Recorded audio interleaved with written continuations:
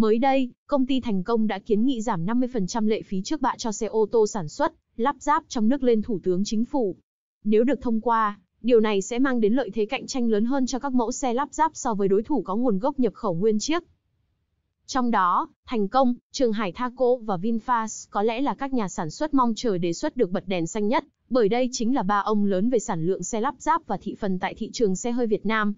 Ngược lại, các nhà nhập khẩu chắc chắn sẽ chịu sức ép rất lớn nếu như xe lắp ráp trong nước được giảm phí trước bạ, và buộc phải chạy theo cuộc đua ưu đãi này.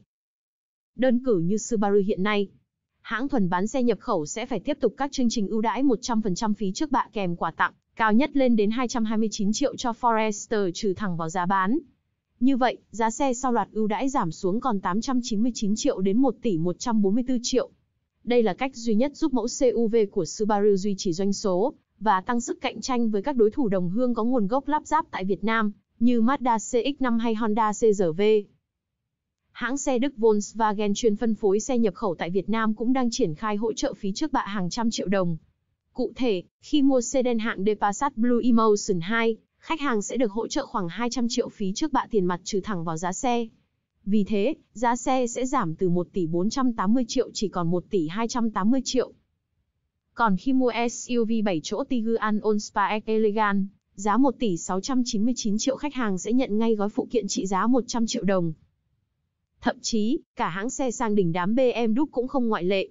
Dòng 7 series giảm tới 580 triệu đồng cho bản 740 lít Y, xuống còn 4 tỷ 789 triệu và các phiên bản còn lại giảm 80 đến 150 triệu đồng.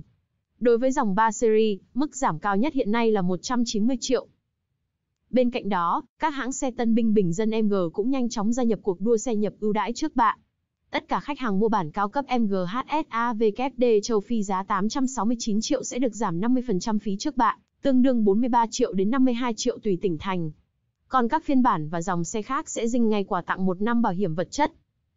Được biết, ngay sau thành công đề xuất tái áp dụng hỗ trợ 50% lệ phí trước bạ cho xe lắp ráp, công ty ô tô Á Châu nhà nhập khẩu và phân phối xe Âu đi tại Việt Nam cũng kiến nghị nên áp dụng công bằng cho cả xe nhập khẩu, tránh sự phân biệt đối xử.